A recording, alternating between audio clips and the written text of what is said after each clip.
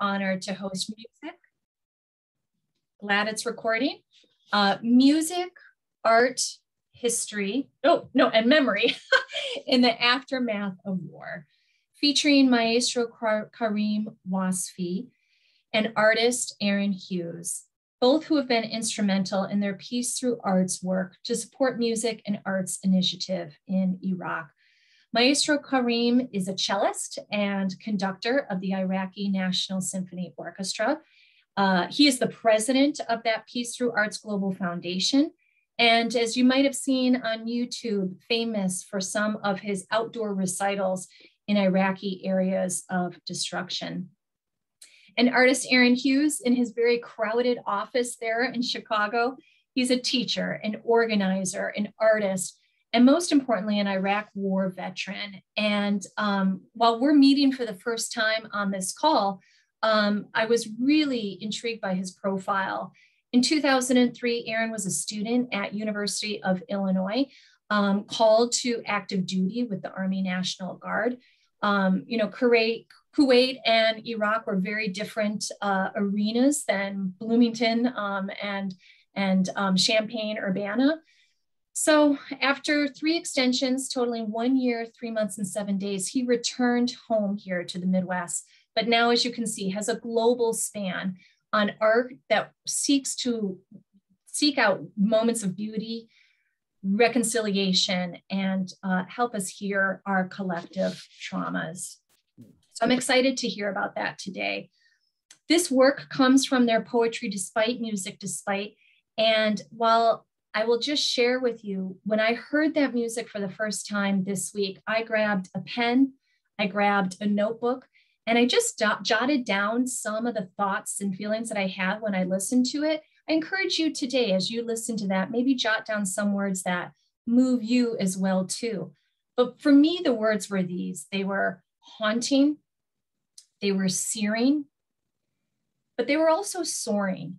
And I could tell how this art transcended um, words and language and boundaries and borders. And in particular, Aaron's ability to take some of the poetry from World War II poet or World War I poet uh, Wilfred Owen.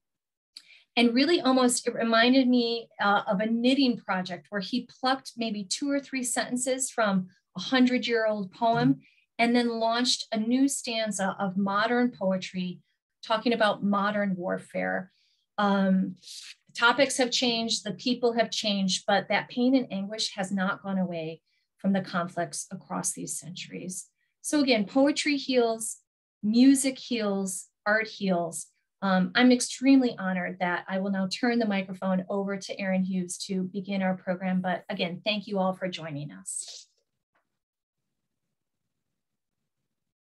Uh, good morning or afternoon, based off where you're at in the world. Um, uh, I just want to start by uh, thanking the Hennepin uh, Hist History Museum and specifically ACOMA for all the help uh, hosting us today, and Kathleen and the Iraqi American Reconciliation Project, and Jesse and Hannah from that program.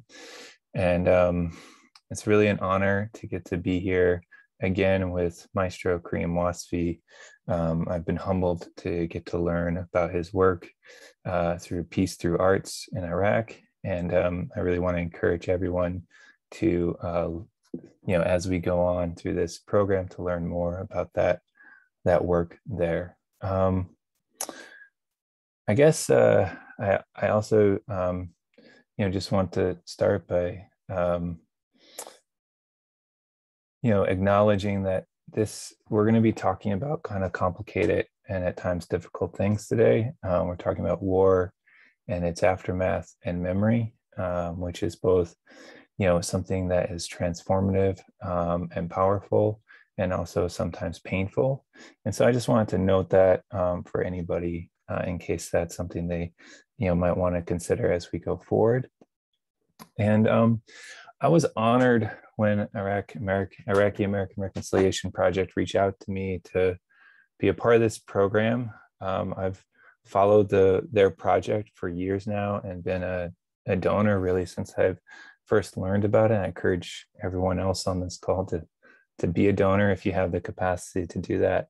Um, and that's because uh, coming out of my military experience in Kuwait and Iraq in 2003, 2004, I felt an overwhelming obligation and responsibility um, to, uh, um, sorry, to uh, the Iraqi people. And um, I specifically, you know, through that process, um, really wanted to commit to reparations that I believe that we owe for the destruction that um, the occupation and invasion of Iraq has brought. And I think there's a lot of questions about how that's reached, but a big part of that is the ability to find restorative justice, finds forms of reconciliation, and then seek both individual and community, but then also um, state uh, reparations. Um, so with that, let's uh, uh, begin our, our talk today, which does um, dive into some of these things. I wanna uh, pass it off to uh, Karim to share some introductory comments, and then uh, I'll bring it back and talk about the project Poetry Despite Music Despite Eternal War Requiem. And then um, I'm going to pass it back off to Karim, who uh, I'm going to ask a few questions to. And then uh, we're going to conclude with some live uh, cello music from Karim before we turn it over to all of you for questions. So please, as we go through this program, please, if you have questions, please write them down. Um, you can put them in the chat or um, at the end, we'll uh, definitely be asking people uh, to share their thoughts and, and comments. And with that, Maestro. Thank you, sir. Aaron, great um, seeing you as usual. Um, Kathleen, thank you very much for your um, um introduction and congratulations for commencing your uh, post. Uh, wishing you great luck and success. Uh, Akoma, thank you very much. Um, and regards and greetings to you and to the Hennepin uh, Museum we appreciate recognizing the efforts and we appreciate what you do also um, at many different levels. I'd like also to thank everyone who's joining us um, uh, this morning or today, beyond geography here, this morning or afternoon. So greetings to everyone. Um, um uh, arts is a, a, a mindset. Uh, the way we look at it is a mindset um, to it's a multifaceted, um, holistic approach towards a better tomorrow. Uh, and uh, utilizing our efforts uh, uh towards connectivity and interdependence uh, to be able to transcend the obstacles of now and what we have had um, of you know obstacles and and and and of all sorts and different at different calibers. I am a war survivor. I've uh, survived the uh, Iraq-Iran conflict, the 1991 Kuwait situation, and then um, uh, it struck me when I was uh, um, in the States, uh, one of the decisions actually in 1991 I had was to be able to get to the United States to sense and feel what is beyond what we have witnessed in terms of instability, inconsistency, uh, the troublesome relations uh, mainly uh, uh, government relations. It, it, was so concrete at the level that people can still manage to um, connect and to sort of create ties beyond disagreement. And this was a driving force behind my decision when I was at Bloomington, Indiana, working on my conducting and cello uh, uh, uh, degrees. Um, um, it, it, struck me uh, in the mid 90s that um, how much people are alike, how much there were shared values and shared uh, responsibilities and obligations as well uh, towards a better tomorrow and towards a higher level of consciousness and awareness that will enable different societies, um, specifically uh, great nations, uh, um, uh, to be able to act beyond disagreement, um, and even though it, it, it, it's a sort of disagreement that was totally inclusive and had an impact on every element of life in Iraq and possibly to some extent in the uh, in the states also, and then Occident, East, and the whole globe. So basically, uh, it was ironic in 1998 when I was still in Bloomington, Indiana, um, um, wondering what was it behind Desert Fox? What was it behind Desert uh, uh, 1991 operation, other than what people knew, other than what we knew? At some level, I heard more bombs and Tomahawk cruise missiles than symphonies and concertos and poetry, and we heard more sirens than music. One of my missions was to instill the innate need for stability and refinement and cultivation and beauty, and to fight and battle against the grotesque impact of deaths and killings and disagreements, um, to instill mutual understanding, um, uh, uh, mitigation, um, coexistence, even beyond tolerance. Tolerance sometimes is a bit tricky. So, the, the you know, um, and then prioritizing education and science and culture and soft powers to be the connection, the connectivity tools, um, and preserving the identities and cultures of different uh, uh, cultures and mix uh, to the level of uh, harmony that uh, we have to, we, we owe to experience um, uh, and then experience normalcies in our life.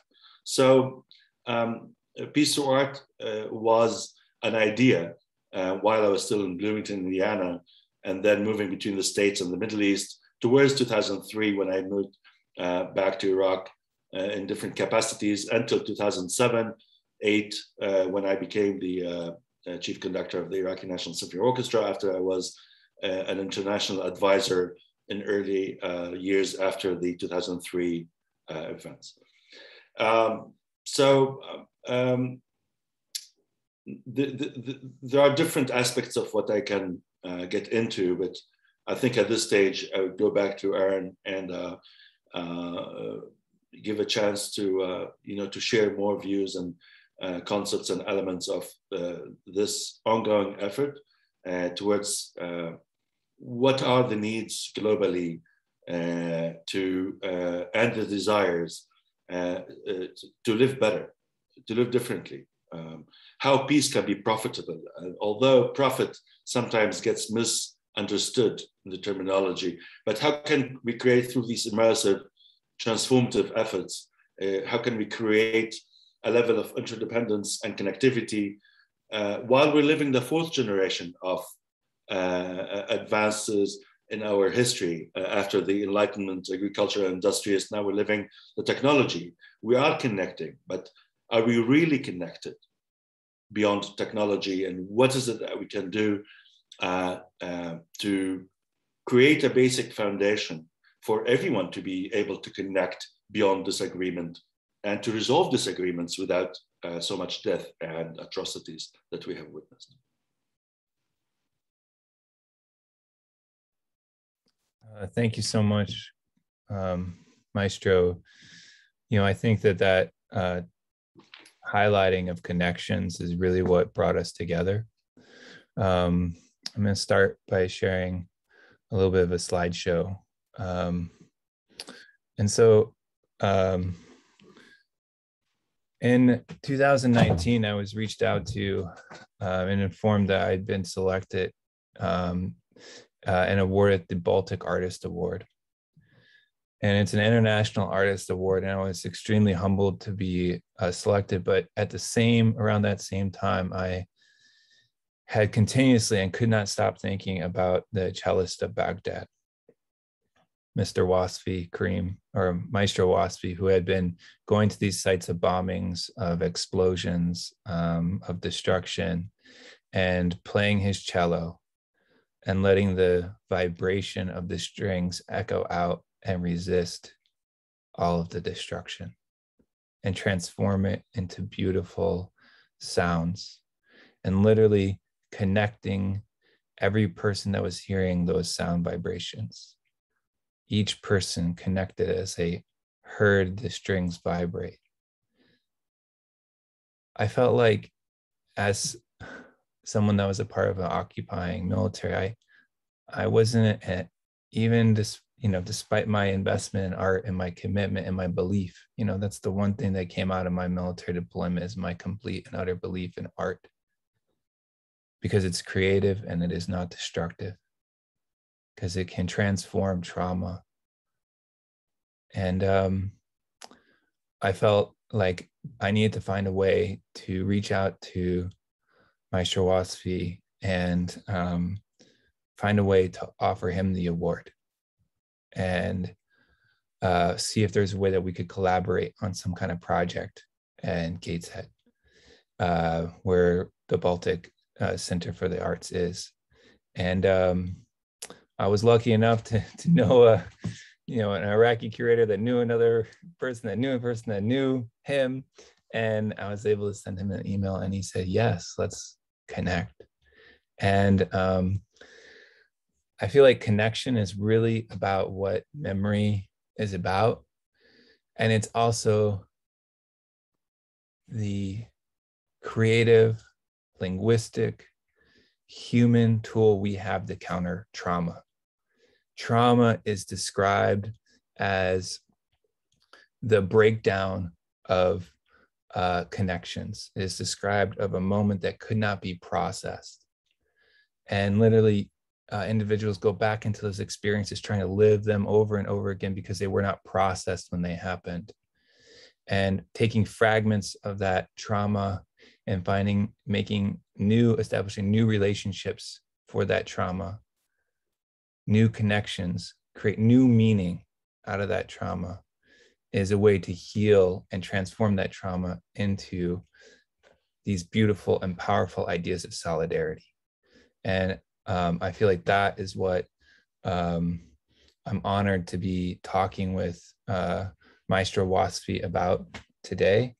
And I just need to move this thing here because uh, I can't, can't, um, I need to move this. Sorry, the, the little thing uh, in the mirror is, or the video is preventing me from seeing my own slides. I apologize. Um, so I want to start, since we're talking about memory, with this quote by Walter Benjamin uh, on excavation and memory. He who seeks to approach his own buried past must conduct himself like a man digging. Above all, he must not be afraid to return again and again to the same matter, to scatter it as one scatters the earth, to turn it over as one turns over soil. For the matter itself is no more than the strata which yield their long sought secrets only to the most meticulous investigators. And that's what poetry despite music despite is about. It's about an investigation into memory. I remember sitting on the Euphrates in Iraq, watching the grass blow in the wind and the water roll by, and think about how connected it all is from the Euphrates to the Gulf to the ocean to the lakes to home. And I remember meeting Maestro Wasfi for the first time and sitting on the Tyne River in the UK in Gateshead and having our conversation about how connected it all is as we watch the river roll by.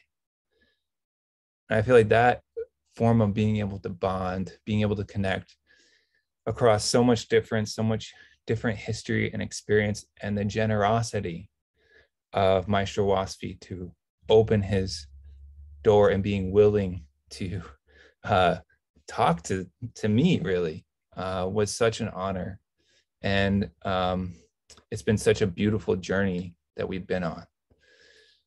Because we were in the gate in the UK, this project, I started looking to the history of war in relationship to the UK and resistance and people transforming war into other things. And then, so I start with this image of the Coventry Cathedral that was bombed during World War II and uh, completely destroyed. And when it was rebuilt, the inaugural performance was a performance by Benjamin Britten, a famous British composer and pacifist who actually refused to fight in World War II, um, which was very controversial and complicated. And there's many layers to that uh, situation. But he was invited to give the uh, welcome everyone back into this cathedral. And he did so by creating the War Requiem, which was based off of nine poems by Wilfred Owen, a World War I poet who dies the last week of the war. Literally, a trench poet writing poetry in the trenches and writing poetry that's critical of War One, and he passes away the last week of the war. This project that Maestro Wasfi and I were working on was literally a hundred years later, basically to the to the to the day. Wilfred Owen's poems were published in a book that was edited by Siegfried Sassoon. And this book, particularly, is the book that Benjamin Britten was inspired by, this Poems by Wilfred Owen book, um, in which he used to conduct and orchestrate his uh, composition of the War Requiem. I bring this up because Siegfried Sassoon is such an essential figure. One, in talking to Michael Rakowitz about this project, I learned that the Sassoon family is an Iraqi family. There's an Iraqi lineage, a British Iraqi lineage to the Sassoon family. This British officer was disgusted with his experiences in the war. And he wrote a letter to the House of Commons protesting the war, saying that it was wrong and needed to end. Because of that, he was term, determined to be insane and sent to an insane asylum where he met Wilfred Owen. And they vast became friends talking about poetry. And so after um, Wilfred Owen dies, and I will say, Siegfried Sassoon was not a pacifist. After he heals from his letter of dissent, he returns to the war. He returned because he wanted to show that it wasn't a matter of being a pacifist, but that it was a matter of critiquing what the whole war was about. It wasn't a belief system, but about critiquing what the system was about. And I just raise this because on the way to meet Owen, this is an awarded decorated officer, British officer with Iraqi lineage, takes his notorious battle cross. This is a this is a story. Now it's not confirmed, but it's been written about many times, and whether it's true or not, I don't know. But there's a narrative, a story of him taking his battle cross and throwing it into the water. A generation, two generations later, um, Vietnam veterans begin to come home from Vietnam and organize themselves into a resistance movement in which they publish poetry about their critique of, of, of being on the ground in Vietnam and of the war in Vietnam. And they, I like to think, since one of the founding members of Vietnam Veterans in War, Jan Barry, was a poet, that one of their most powerful actions was called Dewey Canyon in 1971. They went to Congress and they occupied the Capitol and they returned their service medals. In 2012, marching alongside Afghans for Peace in Chicago at the NATO summit with over 50 other veterans walking alongside Reverend Jesse Jackson, I returned my service medal. My service medals for the global war on terror.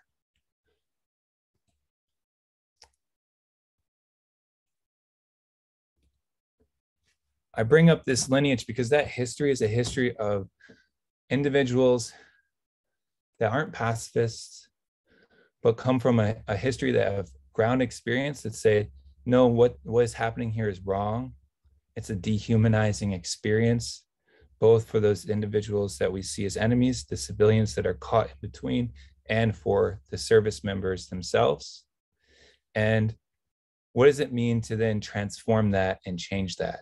And it seems like with all that internal history, and it seemed like in some ways the Iraq War, the Afghanistan War, really they are all just echoes of what was happening within World War One, all the borders that had been established. That in some ways, Wilfred Owen's dream of putting war to rest was in question. And this project was about raising that question while also building those connections across uh, such difference.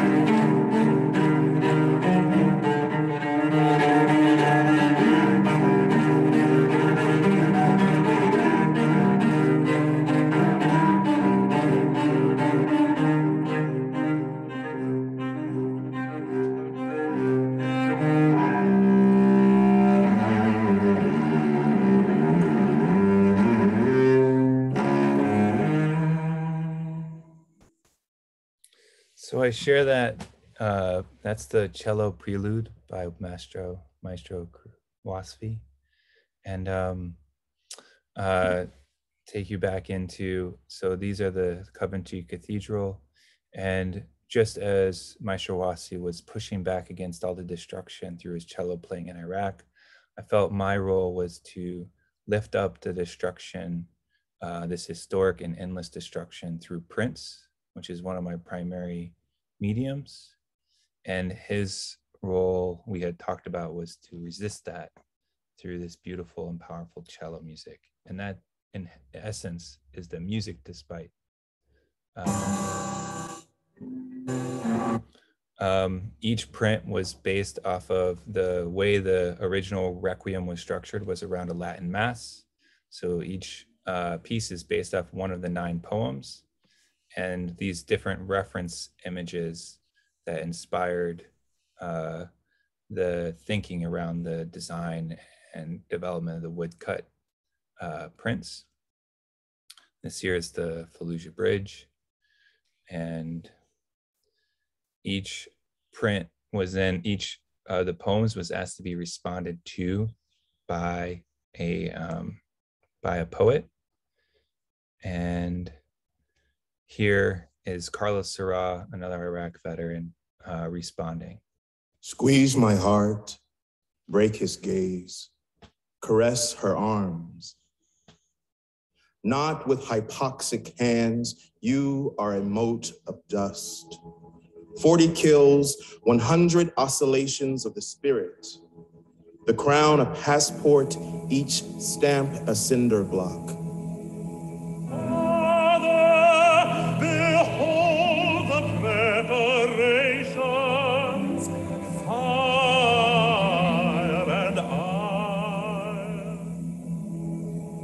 Hypoxic mote of dust you call my hand.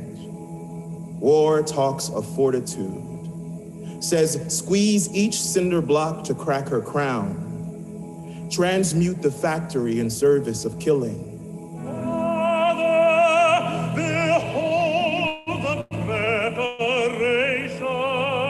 In the parable, the one that we all know, Abraham squeezes fortitude into talk. Isaac you are a mote of dust in a barrel of rye, he says. Father says, kill, he says, destroy the mountain.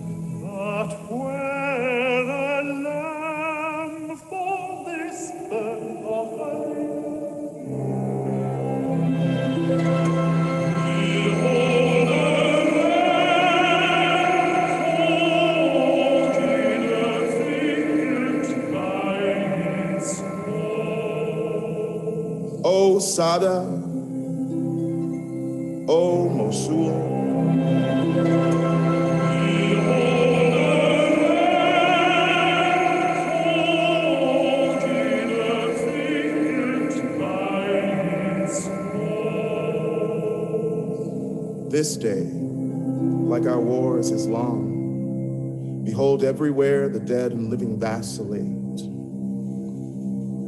Only Squeeze my heart, break his gaze, caress her arms. So, in that clip, you heard um, uh, excerpts from the original Requiem, and a big part of this piece was deconstructing um, that original Requiem and working with sound designer Nate Sandberg to take the live performances that Maestro Wasfi uh, the Syrian Kings, a group of young Syrian refugee hip hop artists, along with uh, Dunya Mikhail, who I'm about to play a clip from now, and uh, amazing Iraqi poet, and uh, Carlos Serra and Kevin Basl, two other Iraq veterans, uh, into this composition uh, based off of Maestro Wasfi's music. Um, and I'm just going to play this last clip of uh, Dunya Mikhail's poem and I just wanted to share this piece because it's a direct reference to Kathy Kollwitz's work.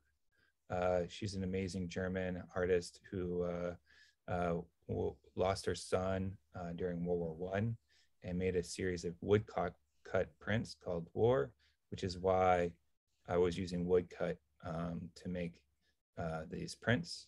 And with that, Dunya. Aaron, can you forgive me? It's Kathleen speaking. I can only see your first quote.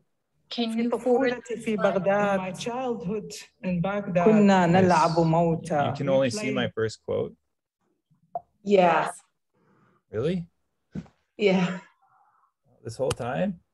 Yeah. Okay. The music was still so beautiful. That was okay, fine. Well, uh, I mean, but, but we need the images. Yeah. Uh, let me stop Take your time. For some reason, my screen won't do anything. I've lost control of my. um, escape. Okay. Do you If think I- you can share your screen again, Aaron? I stopped your screen share currently. Yeah, let's that's a great idea. I'm very sorry, everyone. I thought you were getting to see all these images. Well, now I'm gonna um, hopefully can so you see this quote? Do you see an image of a river? No. No. It stays on the Walter Benjamin quote Yeah, here right we go. Yeah. Can you see the river now? Yes, now we can. Now we can. And can you see the next image now? No. Next one? No. Okay, you can only see it in this little view then, I guess. Yeah. hmm There's Okay. Wilfred Owen. Okay. How embarrassing. I uh, apologize. This is along the Euphrates River. This is an image of the Coventry Cathedral. This is Wilfred Owen. This is trench poetry. This is the book I was referring to. This is Siegfried Sassoon. This is the works of resistance by Vietnam veterans. This is Iraq and Afghanistan veterans. And this is the um, getting along into the uh, piece. And we were right um, here. I'm so sorry that you didn't see any of these prints. I'm very embarrassed, and um, Don't be. uh, I will. Uh, you go through, through your prints just a little bit slower because they're so striking. yes, I'm sorry. Um, okay, so um, each print is based off of one of the uh, poems. This is Requiem Aeternam. As I mentioned, it's based on a Latin mass, the original rec- uh, Requiem. This is Dies Irae, Permanent Star. Uh, this this piece here. Um, this here is called Forever War, and each piece has a associated poem. This piece here is Sonnet on Knowing Our Drones Hit Targets Wrongfully Identified. This here is Futility.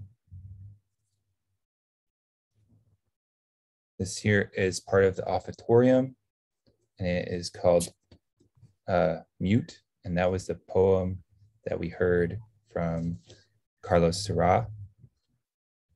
And this here is um, um, a part of the Sanctus, and is a part of was responded to by um, Dunya Mikhail, um, and she wrote two pieces. One is this plastic death piece that was just about the play, and it was a direct reference to Kathy Kollwitz's work. Again, I apologize that people were not seeing these images earlier. Please forgive me.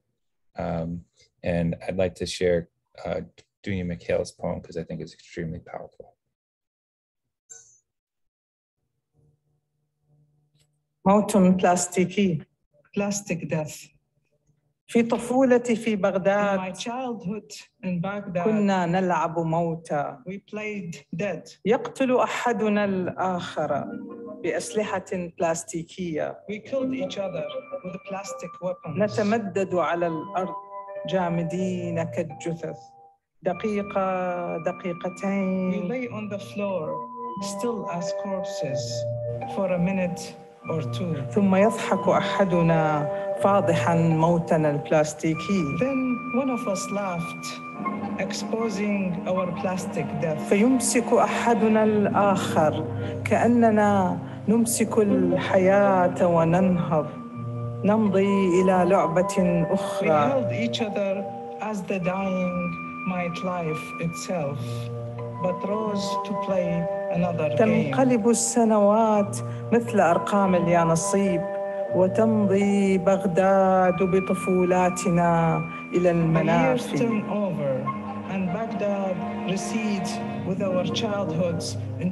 نرى من بعيد أطفالا يشبهوننا. يقتل أحدهم الآخر يتمددون بلا حراك. lie motionless on the floor. ولكن لا أحد منهم يضحك لا أحد منهم يمسك الحياة وينهض But none of them laugh or hold life and rise.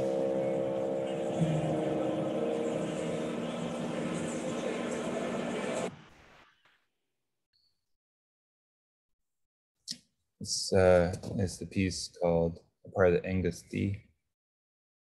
And this is the uh, full installation at the Baltic uh, where we did the performances.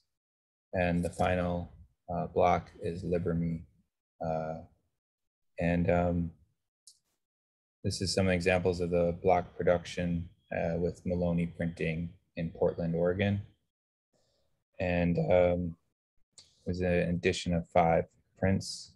And you know, I just want to return to this amazing team that I got to work with for this project. Uh, Dunya Mikhail, Maestro Wasfi, Mohammed, and Ali, and myself, and behind us, Kevin Basl, Carlos Serra, and the curator, Kathleen. So, uh, um, and with that, uh, let me return it to Maestro Wasfi. Um, I'm very sorry about the, um, again, You're about fine, Aaron. well, thank you for going back uh, to and referring to um, it's extremely uh, important uh, to realize how our brains function and when things are you know pretending memory and what do we engage with and and and what do we choose to connect to? And i was just wondering you know while we're going this uh, through through while we were going through the fact that there should have been images projected i was wondering what's going on uh, in everybody's uh, mind uh, and then comparing that to what they have um, uh, been exposed to uh, looking at the uh, the images and then uh, part of the music and then the poetry. And that's uh, th- this is one of the elements of connecting um, you know connecting beyond uh, space time use a bit of my passion for quantum entanglement and some of my physics background in Baghdad and in Cairo uh, my, my other passion other than conducting.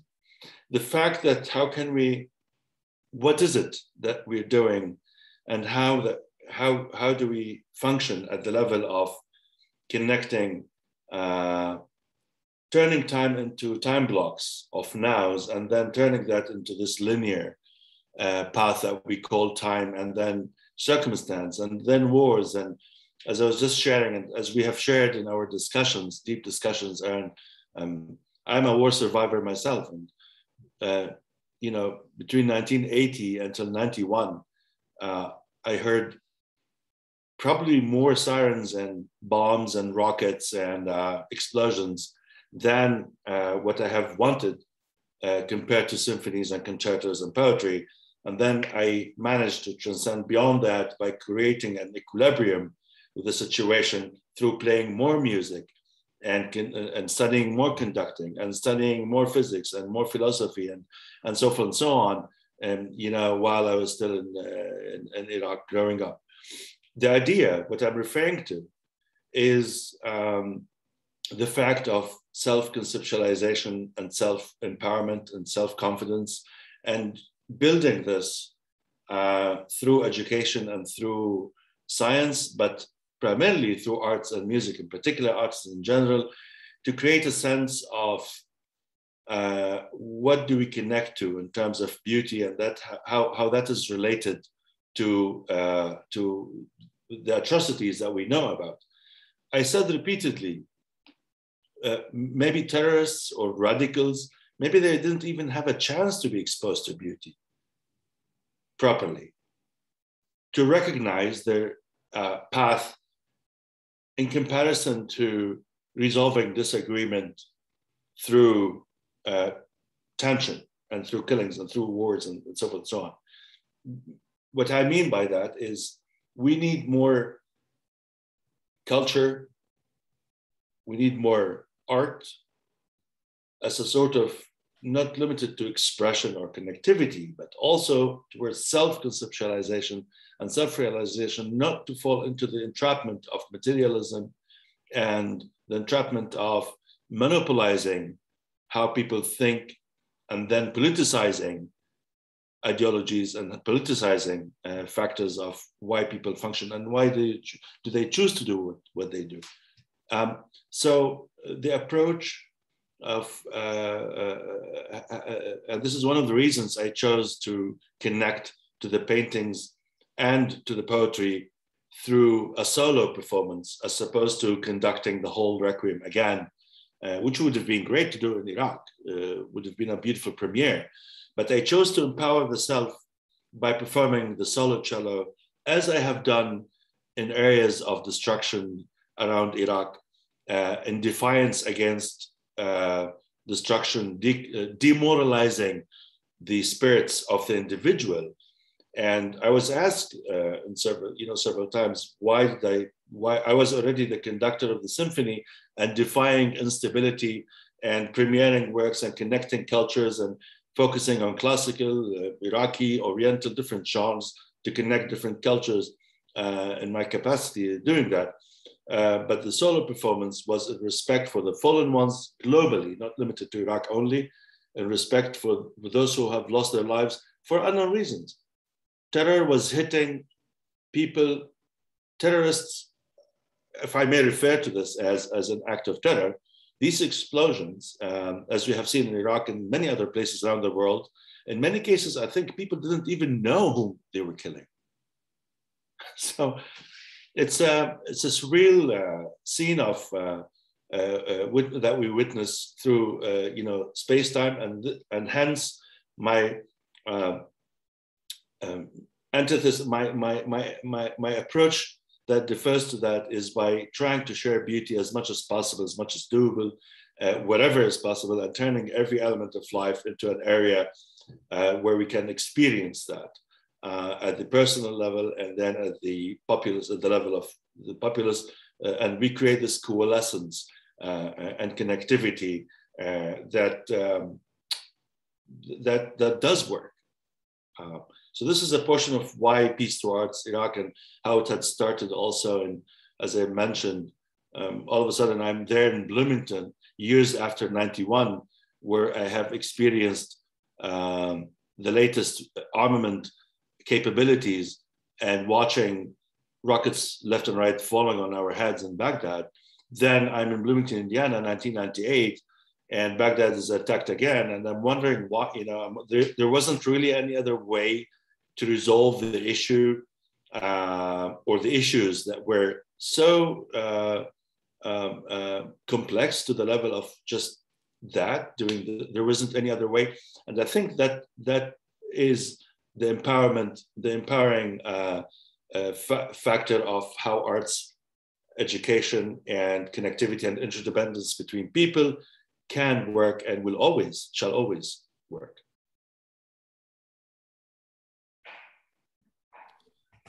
Thank you. Uh, thank you, um, Maestro Wasfi.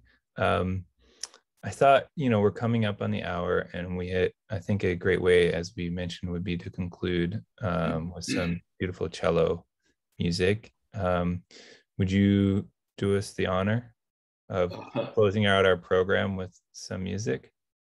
It's already an hour. See, unbelievable. Or do you, or, well, it is already an hour. I don't, um, is that, is that, uh, that's fine.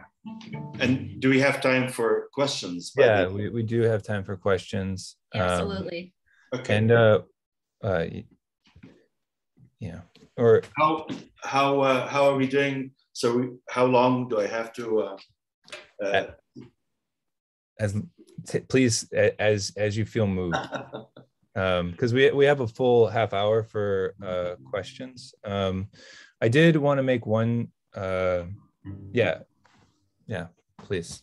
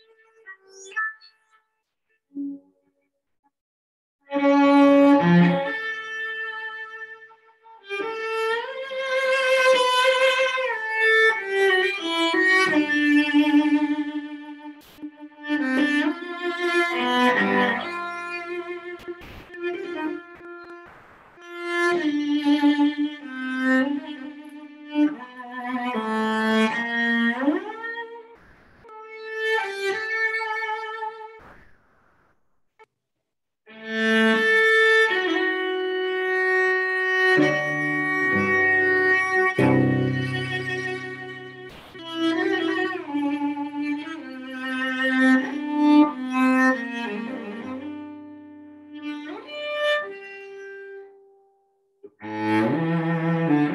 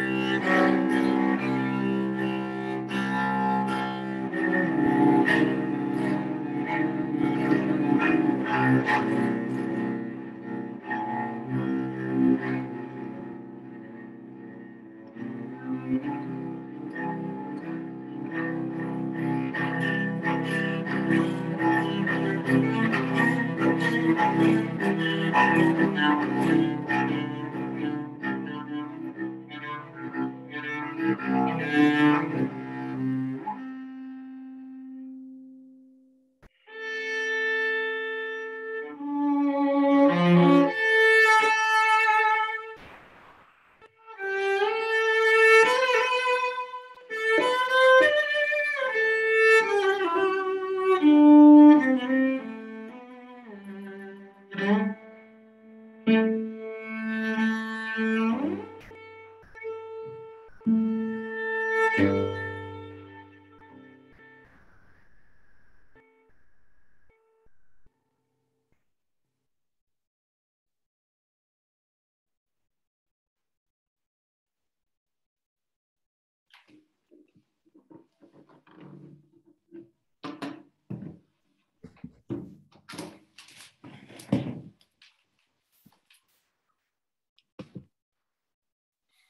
profound. Thank you, sir. Thank you. As I listened to that music, um, and I will say, Aaron, you felt self conscious that the blocks weren't up, but it did allow my mind to go back into um, a memory of of something that that I saw during the war that I had totally forgotten about until that music kind of brought it back. Um, but I do want to open it up to others. I'm going to ask one question first, though, of, of Aaron, because you talked, Maestro talked about, you know, maybe these terrorists were never exposed to beauty or culture.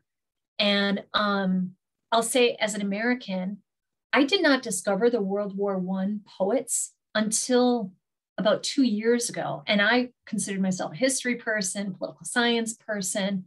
Um, and when I when I discovered the poetry of Wilfred Owen, I almost fell over. It was so powerful.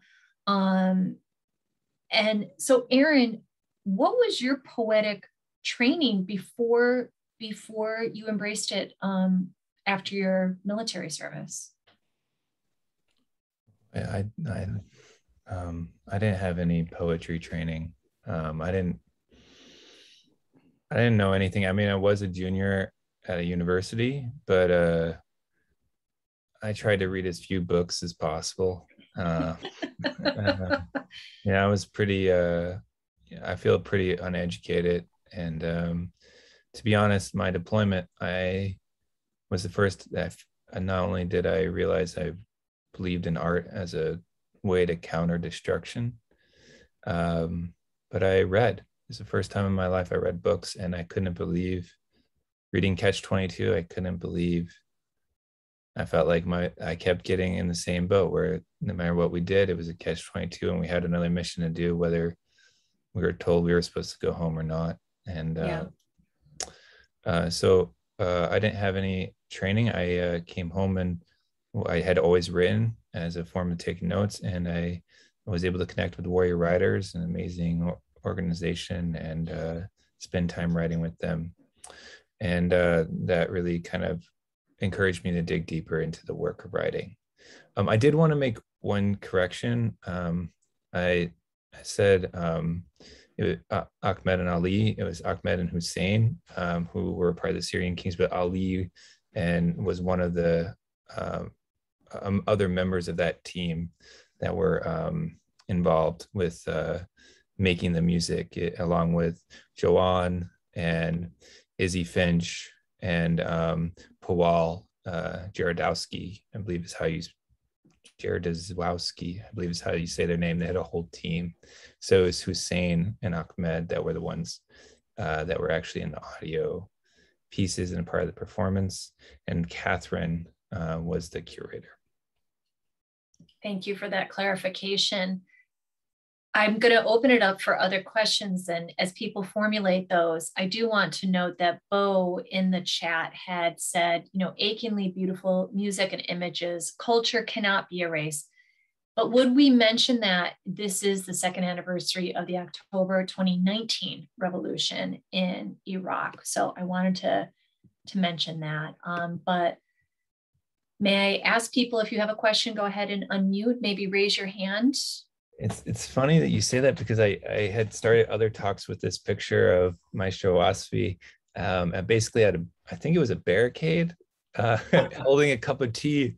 at Tahrir, I was at the from 2019, and um, you know I really appreciate that person that brought that forward. Thank you for raising that. it, it is extremely moment.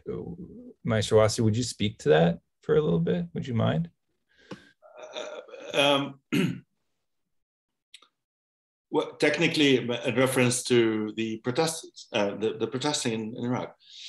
Uh, yes. I, I, think I think it, it is uh, definitely a historic um, moment regionally, but in, specifically in Iraq, um, uh, the fact that the youth, the future leaders, had taken uh, into their hands the option of expressing um, and acting proactively and um, in support of change and in support of uh, empowered by a vision. I think it's a great uh, level of functionality that was lacking for many reasons, internal and external reasons, to include conflicts and wars and so forth, so on. Iraq was never stable, in my opinion. And I'm referring to that Mesopotamia for the last 5,000 years. Kathleen, you probably would agree, uh, knowing from history. Uh, that, that region uh, we know it's a cradle of civilization, but it had seen so much instability and inconsistency So we have it's there in the situation that there's no stability as uh, we know it somewhere else in the world.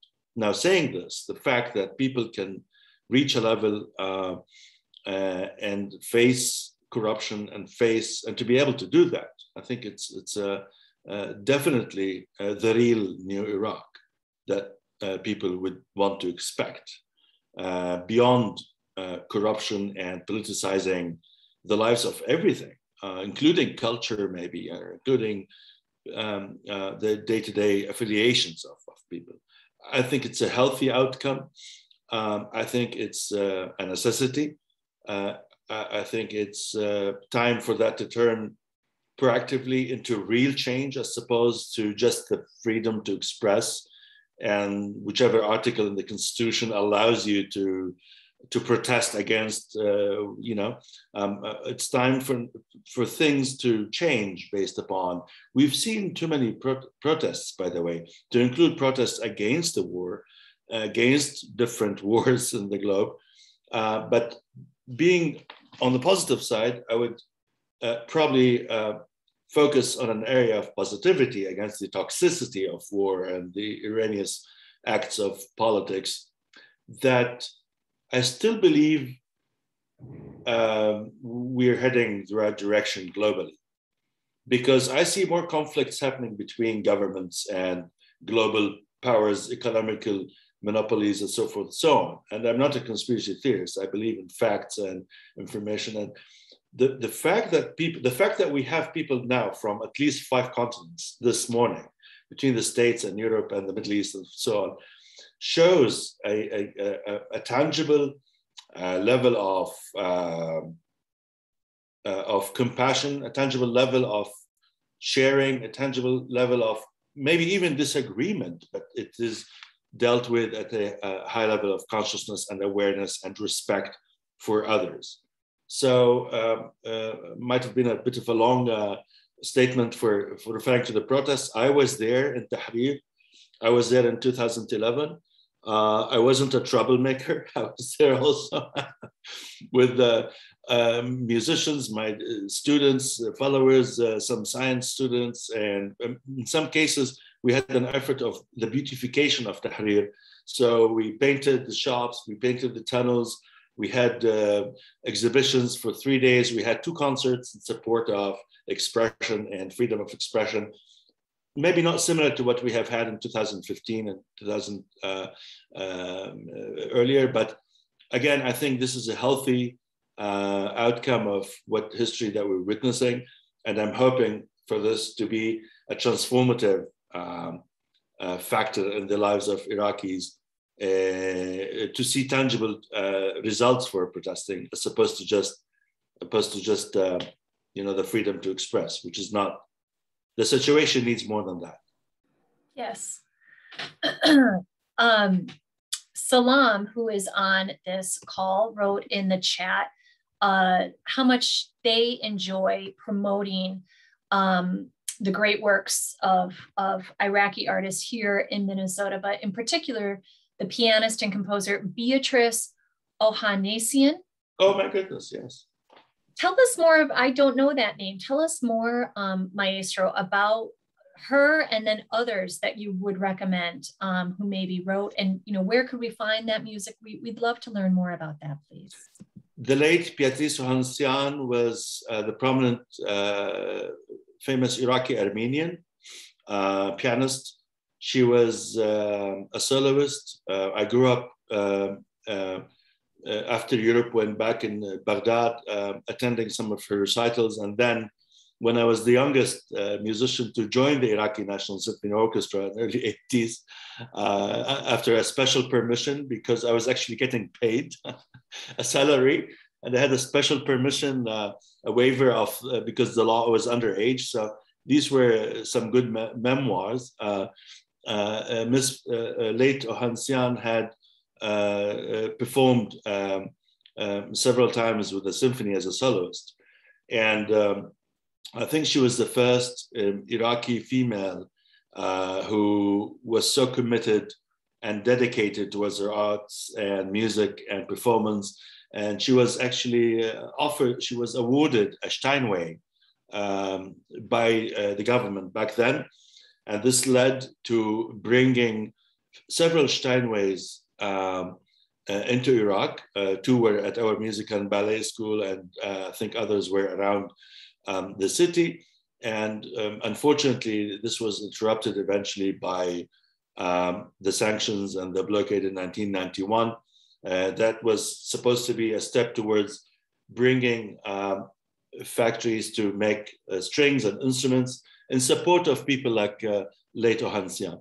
Um, uh, the uh, uh, I, I, can't thank enough uh, people who had contributed to this. We had instruments donated for similar stories like Miss Ohanessian's, um, two young Iraqis from the States. Um, I can't remember who, what, I just, I'm extending my thanks to everyone uh, who had contributed and every institution and efforts like those which show how people manage at the end to create this foundation of a better tomorrow. Uh, beyond agreeing or disagreeing, we can disagree, that's healthy. But at the end, there are certain limits and thresholds that we should not uh, you know, uh, uh, cross in terms of mutual respect. So uh, other musicians in the States, I'm really not aware of. I think I was the only one continuing. Uh, I know um, some of the records are possibly around different libraries, but I don't think there's enough actually. And this is a great initiative that we can even commend. We can start considering an mm-hmm. exchange. Mm-hmm to the level of what people can collect into exchange um, and then support such programs that, like the reconciliation uh, project or the museum itself you know in support of that. I by the way uh, uh, beyond ms Ohanessian's impact i don't see this as a reactive approach. A reconciliation is, is, is actually an ongoing proactive approach towards normalizing relations and decreasing tension maybe and awareness and mutual understanding um, amongst uh, uh, great nations like the US and Iraq and others as well alike and can yeah. be a global approach. So um, uh, I'm, I'm, glad uh, like Mr. Ohanessian's uh, work was brought to attention and I'm hoping that we could do more exchange of information and tangible uh, uh, work as uh, in arts and music in particular uh, for mutual understanding through the cultural preservation of both nations. I love it, and and um, this event was promoted uh, informally to the Minnesota Orchestra team as well. So um, incredibly, our founder Kathy McKay wrote that Miss Beatrice uh, uh, lived here in Minnesota with her sister and the brother. Kathy, did you meet her back in the day? we can't hear you, Kathy McKay. Yeah. Yes, she and her sister came to some of our early art events. And um, then Salam, who has been speaking here, is a professional pianist as well as other, he does other things. But he played uh, one of her pieces called Hammurabi uh, for a large group of people here. Uh, Beatrice ha has passed on a few years back, and her sister continued to stay connected with us uh, for a while. Her brother so, has also passed on. Lovely, lovely, lovely. I look forward and to she was proud of the Minnesota then. yes, she was proud of the Steinway, and she didn't um, hesitate to say that it was a personal gift from Saddam Hussein. Yeah, was how she interpreted it yeah. yeah. And also, she and her sister, any chance they would get, they would um, be great publicly be grateful to the Iraqis for bringing their family, making giving their family safety because they had fled uh, during the persecutions in you know their home country and were made welcome in Baghdad. And they always wanted people to know that how how welcoming the Iraqis were to them and to many, so many of their other country people.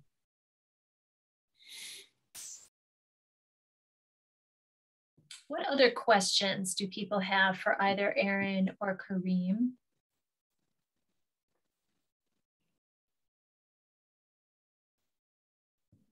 Or comments? How did the music make you feel?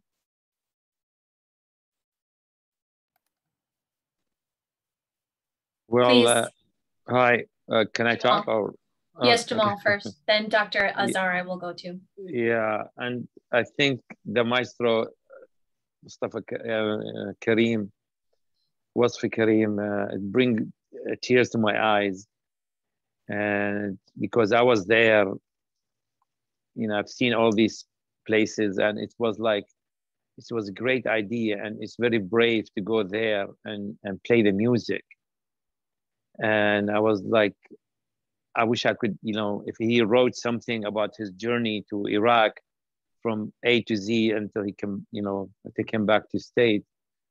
And and there's a question: Is the Iraqi press or Arabic press or any national press was there to record or to to document this visit for you, Mr. Wasfi Maestro? Um, actually, um, I live in Iraq, amongst other places. Uh, yeah, yeah. I, I, I, I live between, uh, well, I move between um, Iraq and other places in support of um, a better tomorrow and support of um, our mission. And um, I do conduct the symphony orchestra when I'm there. Um, so it's too many chapters, uh, Jamal. If I would go through, there's an A, but the Z is kind of, uh, you know, it's, it's uh, too many chapters involved. So basically, Yeah.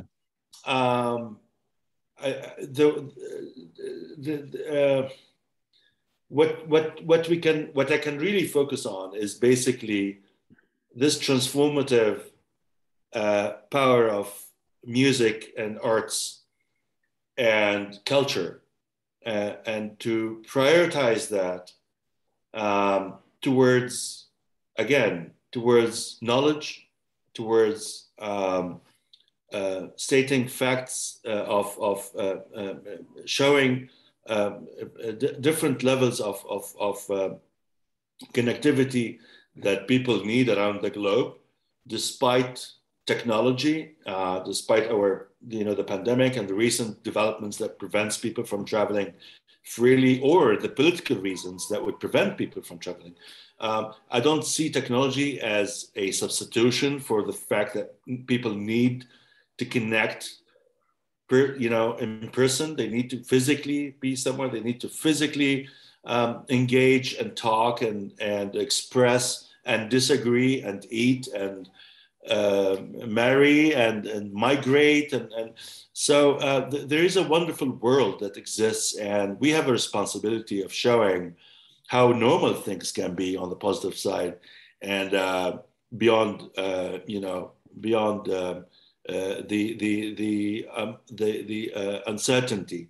To see beauty even in uncertainty and transform that into an energy field that would enable people to um, you know uh, i'm hoping for iraq to be a safe country that will have every american who's interested to visit and every iraqi who disagrees with iraq to be able to visit um, unlike days when we have seen that people could not disagree and be there um, so basically, uh, it's a it's a wonderful journey. Uh, Iraq is, uh, I think, it's deeply wounded and hurt and needs uh, what we're trying to offer. And this is not even a government affiliation; it's a belief of us individuals who believe in. Um, you know, uh, this is not a PR campaign for any government or political uh, scene.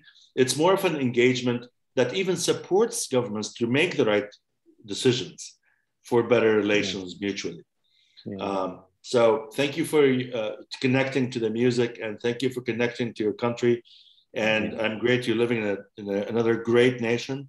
Um, um, and the founding fathers a few centuries ago had a good foundation for a country that is uh, that we would wish to see always successful and progressive and stable and so much I would uh, think for um, you know our Iraq to be prosperous and developing, not only based uh, upon the last five thousand years, but the next 5,000 years yet to come. Mm. This is how I look at it.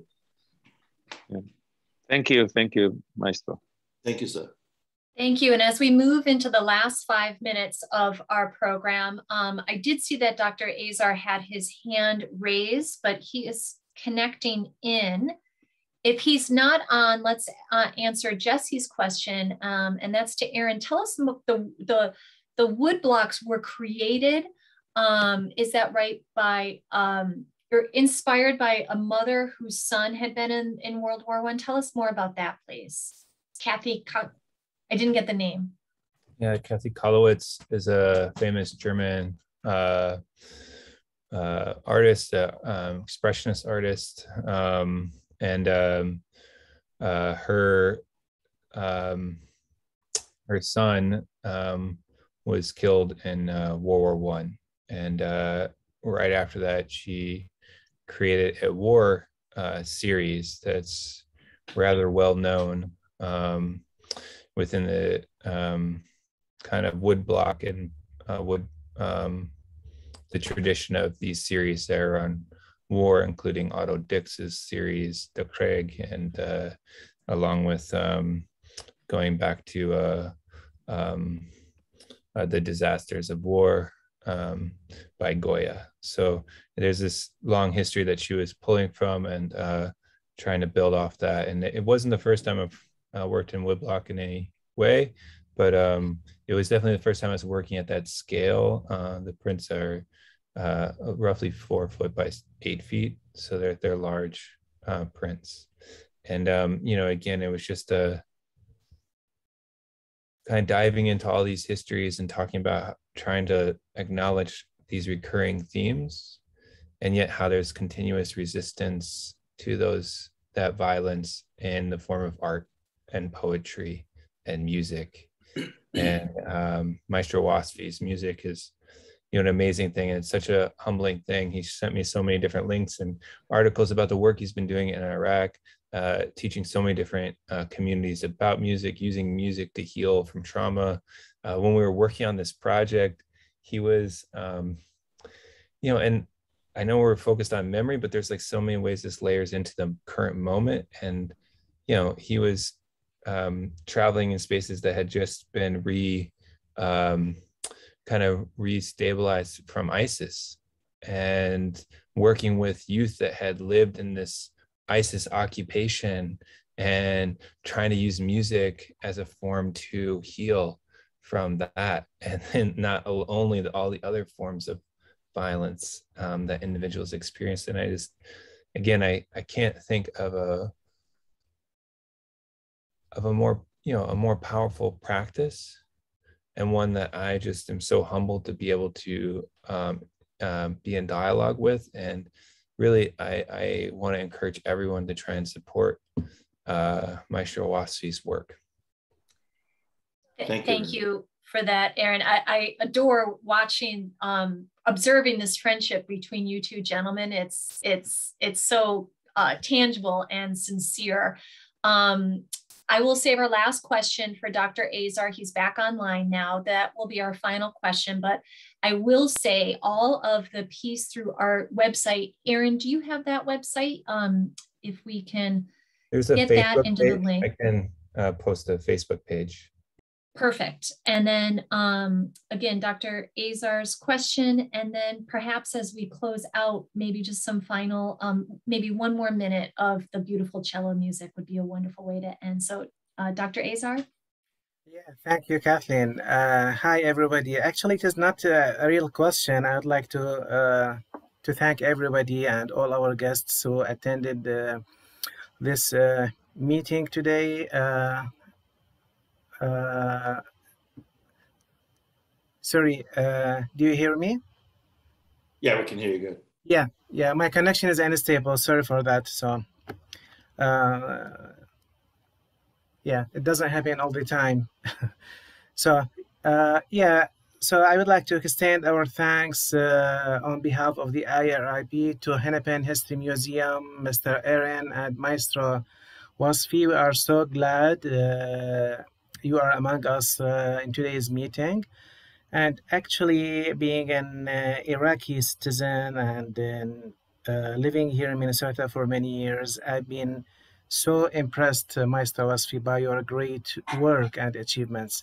Actually, um, you have a wonderful creativity and ability to transform uh, pain and sufferings, you know, and all these sad memories uh, left left over from wars into uh, a healing environment full of joy and, and inspiration. So this is very, very inspiring to everybody. Actually, music is very important, not, not only emotionally, but medically speaking, it is very powerful tool of healing for the soul and for the body. And uh, being a doctor, speaking from my medical background, music has been used in many medical centers as a mode of, of uh, therapy. So uh, we hope that uh, we hear more and more of your uh, uh, perf- performances, especially here in Minnesota. We hope to see you perform in person here, Master Wasfi, in the Twin Cities.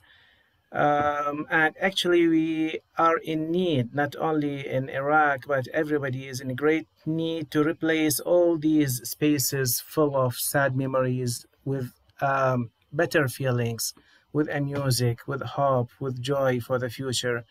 This will have a great impact on on the motivation of everybody in the on the creativity of every person's uh, you know uh, performance uh, I would like to thank everybody again uh, for this opportunity and hoping to see you soon in the Twin Cities, Mr. Uh, Wasfi. Thank you. Thank you very much, uh, Dr. Maliki. Um, if I may, Kathleen, uh, if I may mention something succinctly and briefly, um, and indeed, I would like to appreciate um, mentioning the relevance of um, music as, again, to reiterate and to share with everyone. I believe art is for art, but really, uh, the message here is beyond that because I'm utilizing uh, music in particular at the educational level and the scientific level to be not only a tool of de-radicalization, prevention of terror and tension, prevention of um, obstacles, but also um, a healing factor. And one of my hopes was to be able to create these um, music therapy and PTSD centers around Nainawa and around Iraq. It's a long process, but hopefully we're turning some of the, uh, uh, uh, my hope and my uh, next battle is to turn some of the community centers into um, uh, centers of connectivity and a space like the cloud of a space of positivity and healing as well as integration uh, mutual understanding and coexistence and cultural preservation and cultural awareness and so forth and so on. The list is huge. So this is definitely a priority of mine and to spread uh, culture regionally and um, also to utilize that as a tool of um, uh, healing and uh, uh, and and um, um, um in a both at the educational level, scientific level, as well as the community and societal engagement level, to have more positive energy shared and manifested at the level of the core for everyone within our molecules and at the level of this holistic approach globally. So maybe quantum entanglement does work on planet Earth, not only out in space. And if we do something positive in Basra, it would probably have, you know, positive repercussions in Chicago somewhere or somewhere in DC that would be good for Fallujah, and the list goes on and on and on. So uh, thank you again. And uh, as was requested, I will share another impromptu uh, with uh, everyone uh, uh, and hoping to spread more love and peace everywhere. Inshallah. Inshallah. So this is again, I'm classically trained between Yale and Bloomington and Baghdad and Cairo and all that, but I'm not going to play Bach again. it's going to be dedicated to all of you. Uh, another uh, premiere of uh, of dedicated to everyone's positive energy that they have shared with us um, starting with Aaron, uh, Kathleen, uh, Jesse, and um, uh, and everybody at the museum, and everyone who is following uh, uh, us currently, and keeping us in the thoughts in the near future.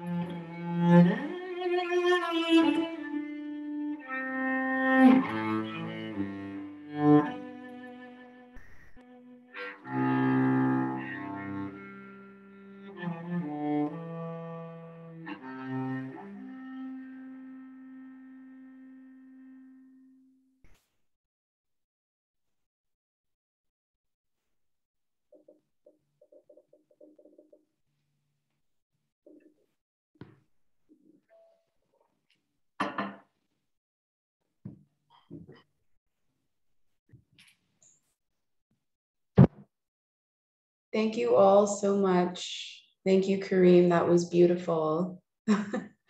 um, this was a great morning. I hope everyone had a really good time. Um, please uh, ask Karim and Aaron more questions. I gave you their contact information. Um, and if you're in the Twin Cities, please come to the museum to enjoy um, our exhibit, Home of Memories. And Careful, I might be bringing my cello then. we would love to have you here. You're so sweet. Thank you, everyone. Let us know when. yes. Thank you. Mama. Thank you so much, um, Iraqi American Reconciliation Project. It's been an honor. Absolutely. Maestro Wasfi, it's so good to see you. Good seeing you. Good seeing you, sir. Regards to everyone and uh, love to everyone. And again, um, uh, tomorrow is always better. Thank you. Inshallah. Thank you, Karim. Thank you. I'm Glad to have you. Thank you. Bye bye. Thank you for everybody. Thank you. Thank you.